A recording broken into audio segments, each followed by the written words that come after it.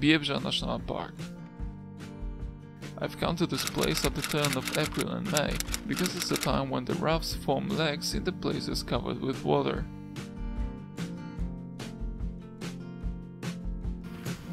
Today we will watch an extraordinary performance. People drive hundreds of kilometers to watch the ruff's leks. And when I look ahead, I see that today we won't be alone too.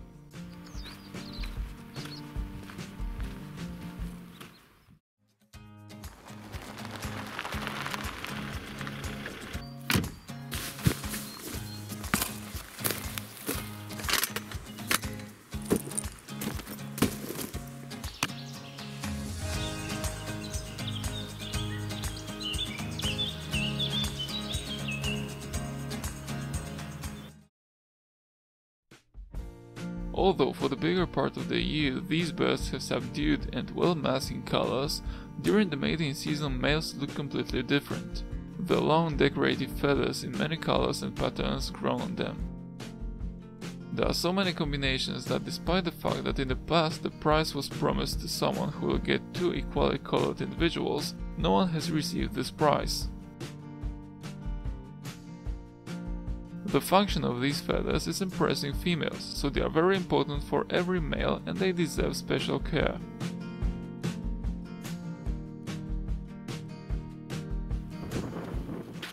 It's quite cloudy since the morning, but I heard that it will change and I think that we will spend here enough time to see the sun. So don't worry, I think that the ruffs will look beautiful. Moreover, they do a real show. It happens in the small space, which is an area where males fight. Usually, two dark colored males appear there and they start the fight. Are they mortal enemies?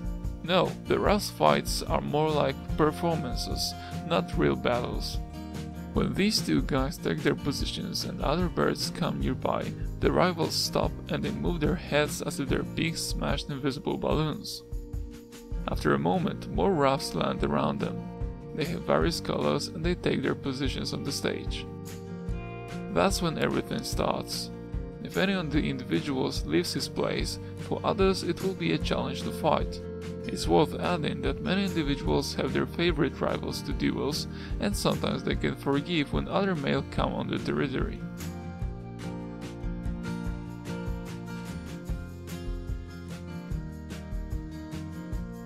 Most important moment, however, is the arrival of the female.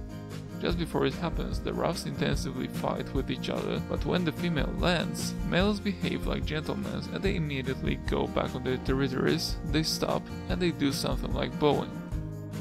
They keep their beaks close to the ground, but they are often turned back to the female. She can choose her partner now. So if we are looking for a real knights in today's world, let's look at the ruffs. Two individuals fight with each other on the arena without a break. They want to impress the female and after a duel they bow in front of her and wait for her decision if she will accept them. It's a typical medieval legend which happens every year in the real world. Dear ladies, don't sigh. The males think about only one thing and when they pass their genes, when the copulation ends, they go back to their activities. Only female builds a nest and hatches the eggs. Man.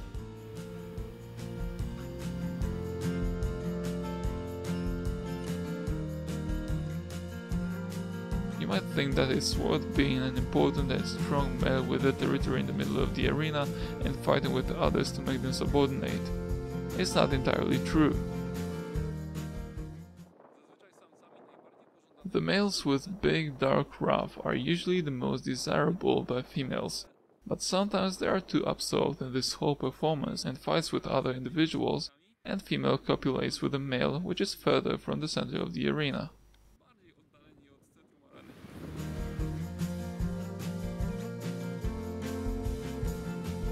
The show that the ruffs give is quite complicated, but really spectacular and it's worth seeing it.